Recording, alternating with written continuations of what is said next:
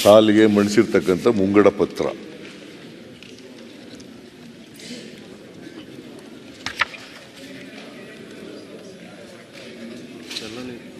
ಈ ಆ? ಏ ಸ್ವಲ್ಪ ಕೂತ್ಗಳ ಕೇಳಿ. ಏ ಮುನಿರತ್ನ. ಏ ಅಶೋಕ ನೀವು ಕೂತ್ಕೋಬೇಕು ಇಲ್ಲರ ಇಲ್ಲೇ ಅಂಗಡಿ ಹೋಗ್ಬೇಕು. ನಾವೆಲ್ಲ ನಿಮ್ಮ ಮುಖ್ಯಮಂತ್ರಿಗಳು ಬಜೆಟ್ ಮಂಡಿಸುವಾಗ ಎಷ್ಟು ಅಟೆಂಟಿವ್ ಆಗಿ ಕೇಳೋದು? ಹಾಂ ಕೊನೆಯವರೆಗೂ ಕೂತ್ ಕೂತ್ಕೊಂಡು ಕೇಳಿದ್ದೀನಿ. ಮತ್ತೆ ಇವರು ಅಶೋಕ ಓಡಾಡಿದ್ರೆ ಹೆಂಗೆ? ಮುನಿರತ್ನ ಓಡಾಡಿದ್ರೆ ಹೆಂಗೆ? ನೀವು ಭಾಷಣ ಮಾಡ್ತೀರಾ ಅಂದ್ರೆ ನಾನು ಇದ್ದೇ ಇರ್ತೀನಿ.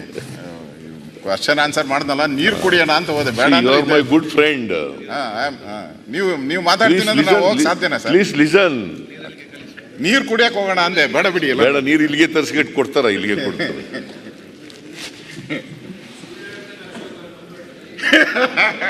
ಏ ನೀರು ಕೊಡಪ್ಪ ಅಶೋಕ ಅವ್ರಿಗೆ.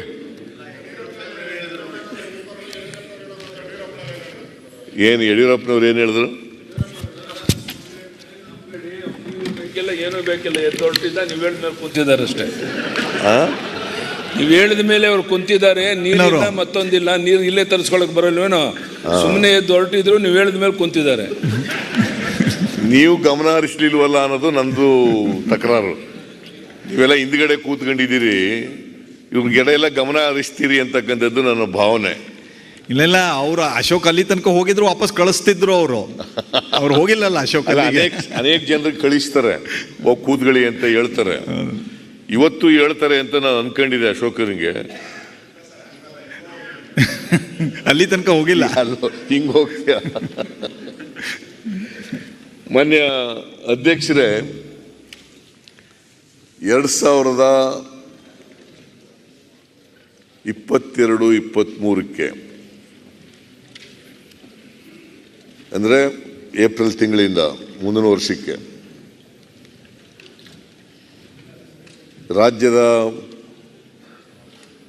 ಆಯವ್ಯಯವನ್ನು ಮಂಡಿಸಿದ್ದಾರೆ ನನಗೆ ಬಸವರಾಜ ಬೊಮ್ಮಾಯಿ ಅವರು ಒಳ್ಳೆ ಸ್ನೇಹಿತರು. ಅವ್ರ ತಂದೆಯವರು ರಾಯಿಷ್ಟು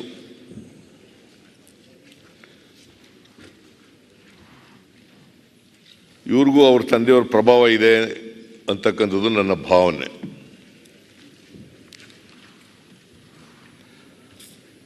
ಹಾಗಾಗಿ ಭಾಳ ನಿರೀಕ್ಷೆಯನ್ನು ಇವರು ಮಂಡಿಸ್ತಕ್ಕಂಥ ಬಜೆಟ್ನಿಂದ ನಾನು ಇಟ್ಕೊಂಡಿದ್ದೆ. ಆ ನಿರೀಕ್ಷೆ ಹುಷಿಯಾಗಿದೆ ಅಂತಕ್ಕಂಥ ಮಾತನ್ನ ಬಹಳ ಬೇಸರದಿಂದ ಹೇಳಬೇಕಾಗಿದೆ ಅಂತಕ್ಕಂಥ ಮಾತನ್ನ ಹೇಳಲಿಕ್ಕೆ ಬಯಸ್ತಾ ಇದ್ದೇನೆ? ಹೇಳಿ, ನೀವೇನಾದರೂ ಹೇಳೋಗಿದ್ರೆ ಹೇಳಿ ಇಲ್ಲ, ನಾನು, ನೀವು ಸ್ನೇಹಿತರು ಅಂತ ಶುರು ಮಾಡಿಕೊಂಡು